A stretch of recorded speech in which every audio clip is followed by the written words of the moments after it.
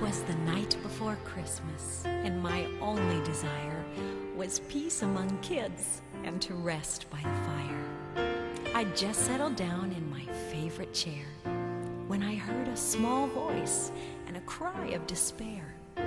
As I stared at the hearth, I saw a strange sight. Our nativity scene in the flickering light seemed almost alive. And how could this be? One lonely shepherd was calling to me. Move me closer, move me closer, move me closer to the child.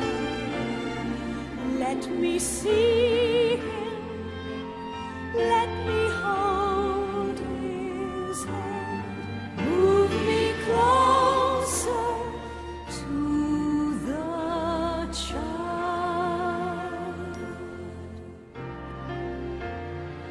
As you can well imagine, I was a bit surprised.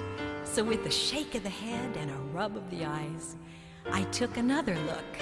And what did I see? Without a doubt, he was looking at me.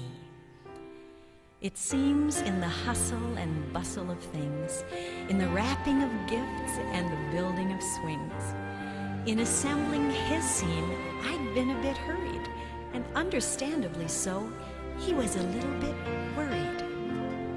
Move me closer, move me closer, move me closer to the child. Let me see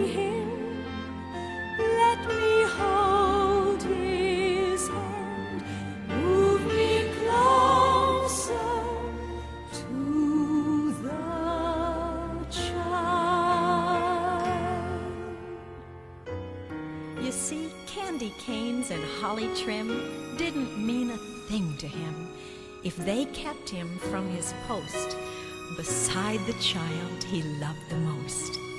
So, as strange I know as it must seem, whether it was or wasn't a dream, I placed him back where he belonged as he sang again his simple song. And now, when we at Christmas share, we sing his song, A Shepherd's Prayer.